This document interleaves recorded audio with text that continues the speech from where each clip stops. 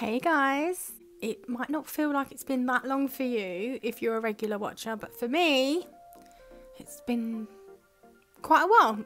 hey guys, it's Lucy and yep, I am back. I'm back at it. I'm doing it. Not only have I got the camera out today, but I also got my trainers out today. I know that it's just been two weeks of no uploads, but for me, I haven't filmed for about four weeks. I've had pretty much the whole of November off from filming and running. This is very strange for me. But before I explain what I've been up to and what I've been doing, if this is the first video of mine that you've come across, hello, my name is Lucy. I have been on a running and weight loss journey since February 2020. I started that journey at 230 pounds, unable to run for more than 30 seconds at a time. Now I looked online to try and find someone who had been in that position and actually managed to become a runner, someone who knew the exact struggles that I was going through, someone who I could relate to. To be honest, someone who would make me realise that actually it is possible for me. It doesn't matter where I've started from, all that matters is where I'm heading.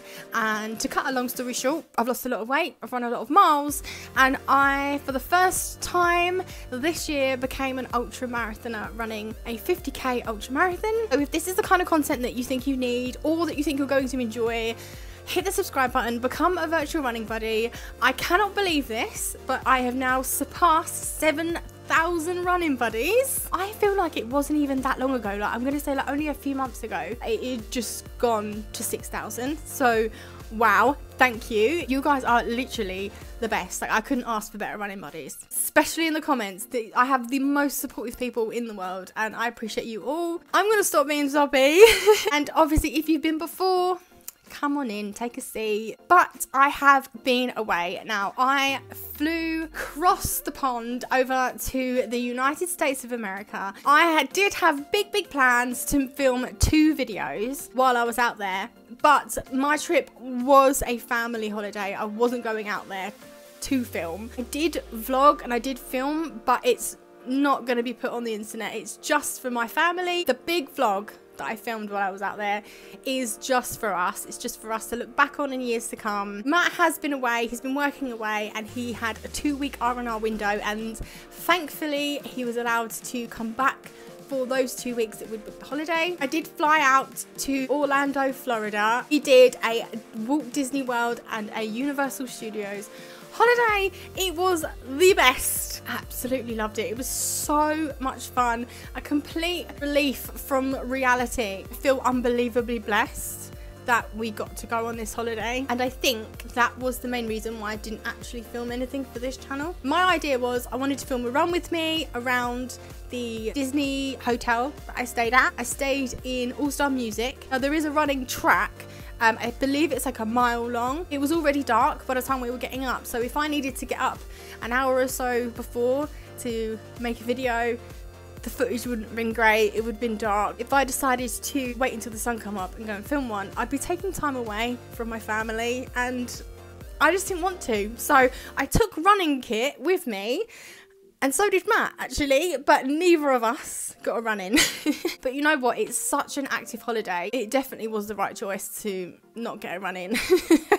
definitely. I also wanted to do a video of how many steps on my watch I do in a day in a Disney park. I just wanted to see if I could do that kind of video, but I actually ended up taking my watch off when I got there and I only just put it back on today. Unfortunately, I didn't get my Florida run with me, but if you want to see me running in America, I was so lucky to be able to take a trip to New York City in May. I will put that video above. So it has been oh, four weeks. I think it's been four weeks. If it's not been four weeks, it's been a bit less, but it's felt like forever. Obviously, I chose not to run in Florida, and I haven't been for well, I have, but I hadn't been for a run.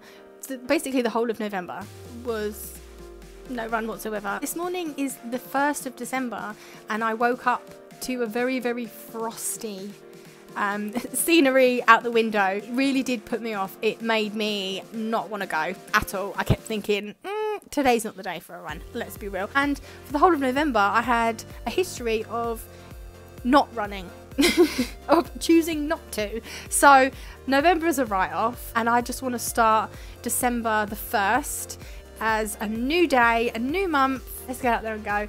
And yes, I got my trainers on and I went for a run. I feel so out of practice. I have my phone because I'm just going to film on my phone today, not taking my camera. I've got my water bottle. I'm going to get my key. I don't take anything else, I don't think. it really has been that long.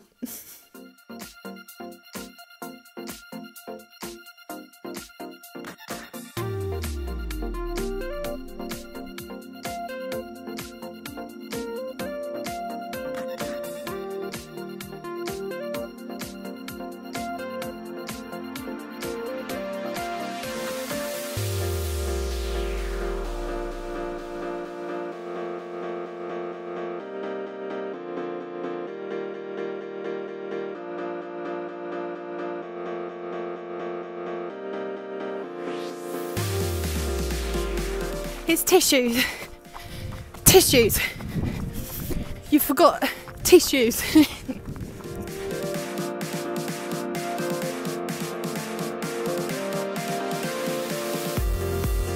and just like that, the first mile is done. And I just keep thinking to myself, why on earth did I not force myself to come out and do this? Like, I had a couple opportunities where I could have ran, but I chose to walk storm instead. So this is like really uneven, so I have to focus on where I'm putting my feet. It is absolutely freezing. I'm so cold, and my hands, you see how pink they are.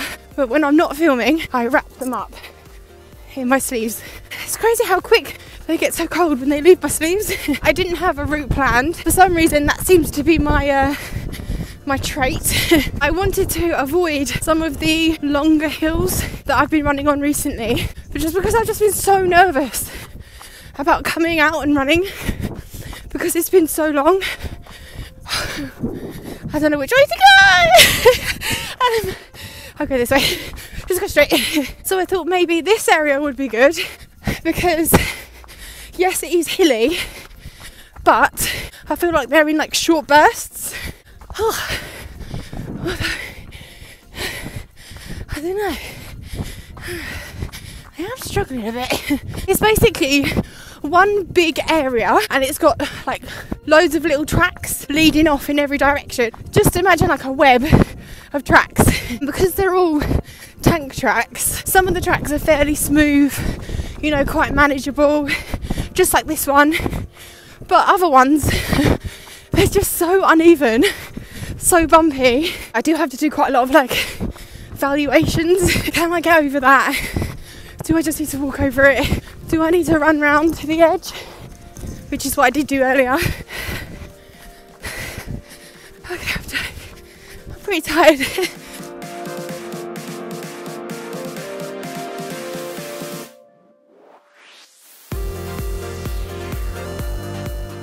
okay, okay. I'm happy with that. Right, the camera, I'm just gonna have to get used to the fact that it does not do it justice. this is a gradual long incline, so I was just there. I remember being on a video before and I was really struggling on, the inclines around this area and I actually got really upset on that hill and I had to stop and I was really upset and I was tearful because I was struggling so much and I was so anxious about coming out and running because I felt like I hadn't done it in so long. Like for me, it's such a long time, and I think what makes it feel longer is I've not been injured, and a couple days, like a couple times this month or last month, it's now the first of December. a couple days, it was my choice uh, not to go and I, that was a combination of a lot of things. Uh, I was in a bit of a cycle, but anyway, I'll get into that a bit later. But I've just ran up this hill, not quickly, not elegantly, but I did it and I did it without stopping. And I felt the whole way that I could get up without stopping. And to be honest, I feel like I've got my breath back already. I'm only about a mile and a half into this run, not been running a huge amount of time. I, I'm really, really happy with that. I think my saving grace for that incline was the fact that it's so cold. That is going to be one of the benefits of going out for a run in the cold. You don't have to worry about feeling the sluggishness that you get from running in the heat. I think the fact that it's so cold uh, benefited me today. So if you're put off by how cold it is outside, maybe you'll benefit on the hills because maybe um, I have. So there we go.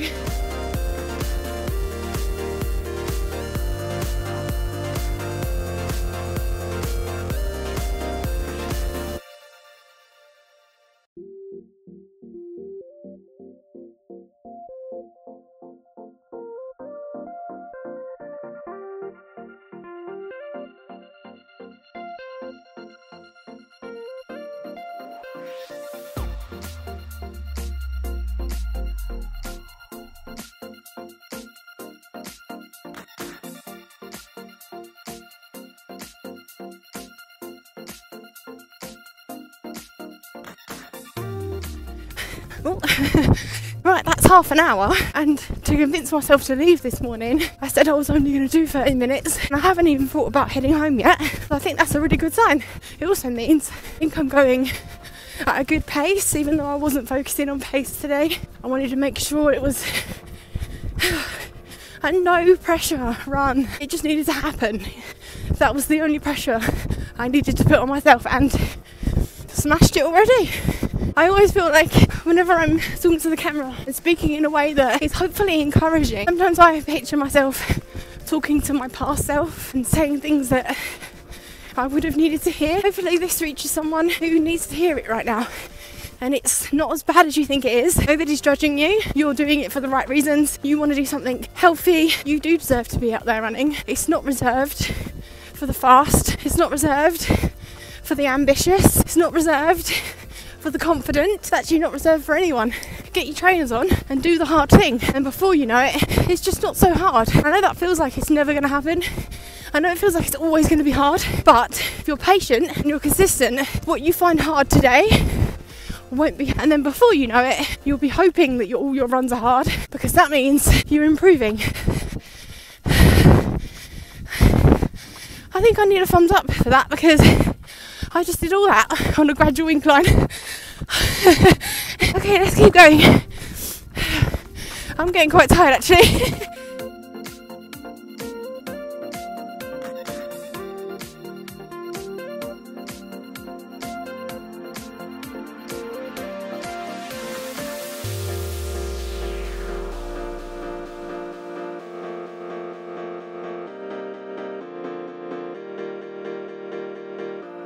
I didn't think this one through.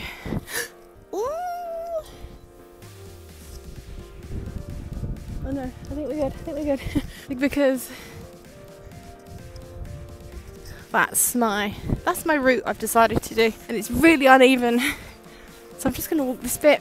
While I'm walking, I will go over the cycle that I've been going through, and that is um, that because I've not been for a run and I've been really sluggish. I've been in America for two weeks and then a lot going on as soon as I got through the front door, as soon as I landed on the plane back home. Obviously, Matt had to go back to work pretty much instantly. A lot to sort out.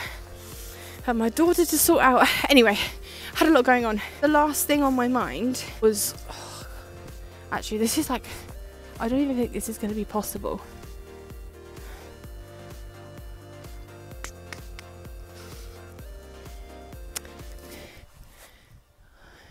Heading back. okay, so the last thing on my mind was thinking about getting straight back on that weight loss train. You know, clearly I put weight on during my holiday. I was at Disney World, I was at Universal Studios, I wasn't out there counting calories, I was out there having the time of my life, absolutely loving it. Enjoyed my holiday and definitely ate more than I would have done at home, of course. And then since I've come back, I've decided to continue that holiday vibe and only focus on the things I needed to focus on. I was also straight back to work the next day after we landed back home. And because I've not been feeling myself, I'm really starting to feel the sluggishness and the weight gain. I've just, I've been just too scared to step on the scales. I don't want to see that number. I don't think it's going to be good for me to see the number. And because I've not had the chance to get out and run, and the couple times that I have, I've decided not to because of many reasons, not just because I haven't wanted to go, but that definitely has been part of it. Then, because I haven't chosen to go, confidence has dropped. I don't feel as much self worth, just don't feel good in myself. Feel like I need to run, too scared to run because I haven't done it in so long and I don't want it to be like really hard and see where this is going, you know? Not feeling good. I'm not doing the thing that I have the most pride in, which is my running. Because I'm not doing that, I'm not hitting goals. I feel like I'm getting further away from goals, and then I'm not. You're gonna have to go under this tree again. uh, because I'm not moving forward, I feel like I'm moving backwards. Then I find it really hard to get myself to try to move forwards again. So I've not chosen to go. Felt worse about myself for not going. Because I feel worse about myself for not going, I then not made the choices food wise that I should be making. And then having those convenient foods, overeating, then makes me feel worse about myself, more sluggish, then that puts me off going for a run. Then choosing not to run makes me feel bad about myself, which then leads me to make poor decisions. Those poor decisions make me feel sluggish. I'm then too scared to go for a run. Don't go for that run. And uh, yeah, I, I knew that getting up and out and going for a run will stop that cycle. 100% it will. It already has. Like, I feel so good. I feel so good. Why did I not? Why did I not do that? Like, there were days when I really desperately needed to go for a run, not just to help me get out of that cycle, just for my mental health. And my mental health stopped me going. this is exactly what I needed. Get your trainers on and get out. That's it. That's that's all the advice I needed. That is all I needed to be told. I just wasn't telling myself that. I'm gonna head back home, but I'm not gonna go directly home. I'm gonna see maybe if I can get another mile out of this. I'm about three miles in, 35 minutes for running, so yeah.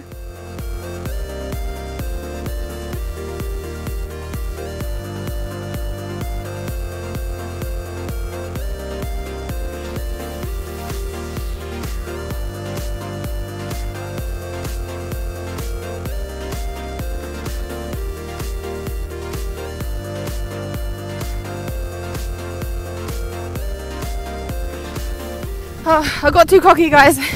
Way too cocky. I got too greedy. I've actually done over five miles now, and I've hit all the area with all the hills. Well, I mean, it's all hills, but these are worse hills than what I had on the training area I was at at the start of this run.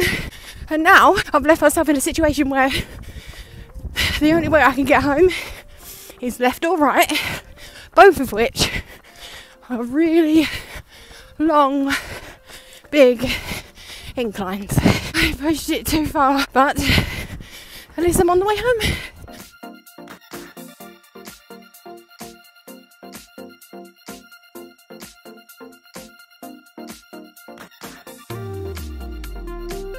As if I just did a 10k. Like, am I joking? I What? I normally like to do a bit of a walk on the way back home. But I finished. Obviously, I didn't plan any of this. Didn't plan the 10k. Nothing. Um, I'm just going to take my vest off, put my coat on. I'm just going to take Storm for like a 30 minute walk now, and then that could be my walk cool down, and then he's done. I did not plan to be out for that long. Storm ended up getting 40 minutes out with me after that run, and we did a sniffing walk. Now, this is the kind of thing that I do when I'm not with my daughter, because normally I'm walking him with my daughter, and I just every time he wants to stop and sniff something, I will stop and I won't encourage him to keep going. I'll just let him sniff for as long as he wants, and um, he gets really, really tired after these types of walks. So, yeah, I look at him he was loving it, absolutely loving it. Now I did skip breakfast, so I was so so hungry. Um, yeah, so I made this really nice big plate of beans on toast, and that was my day. Bye guys.